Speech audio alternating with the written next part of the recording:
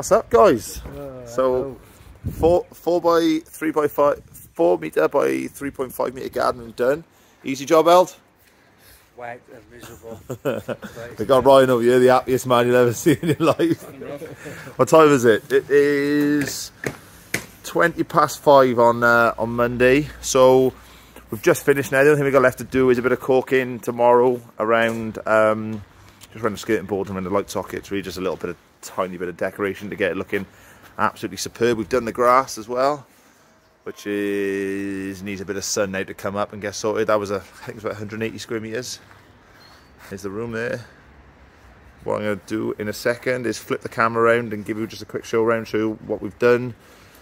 We've got Josh inside at the moment, who's just um, uh, just finishing off the painting. So yeah, the room is a wrap. So let me switch this camera in, I'll show you what we've done. It's getting dark now and I won't bore you with every single detail on this one. I've already given you the measurements. So yeah, so we've got um, an anthracite grey composite decking. No maintenance metal cladding on the side. Anthracite grey to match the roof and to match the doors.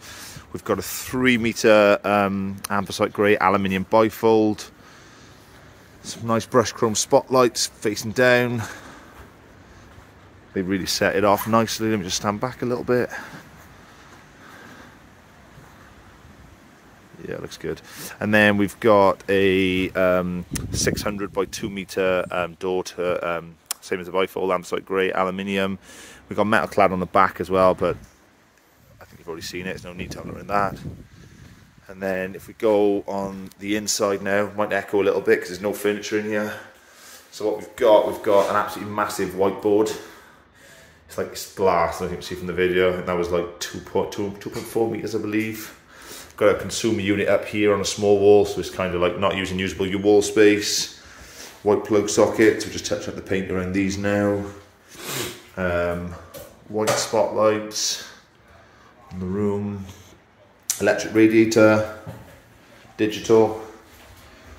Uh, Josh is finishing off the painting over there now. He's in a, what time is it now? It is yeah, coming up to R5 now, so he's wants to get on. Looking good. Flooring as well. Yep, all done here in Cyncoed.